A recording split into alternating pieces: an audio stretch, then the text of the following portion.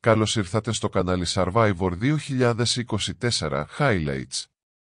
Μην ξεχνάτε να κάνετε εγγραφή στο κανάλι μας. Μείνετε συντονισμένοι στο Survivor Highlights, καθώς ακολουθούν αρκετά spoilers γύρω από το αγαπημένο reality επιβίωσης του Sky.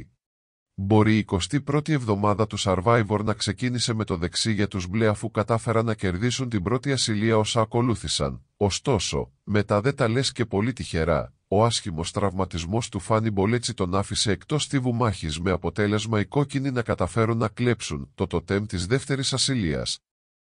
Μέχρι στιγμής από αυτούς τους δύο αγώνες έχουν βγει υποψήφοι ο Χριστόφορος Ταξίδης και ο Σταμάτης Ταλαδιανός ενώ από τις προηγούμενες δύο εβδομάδες έχουμε στον Τάκο τη Δώρα Νικολή και τον Γιώργο Παπαχαραλάμπους. Οι δύο αυτοί παίκτες θα μονομαχήσουν με αυτόν που θα χάσει από τη μονομαχία αυτής της εβδομάδας. Έχουμε, βέβαια, μέχρι τότε.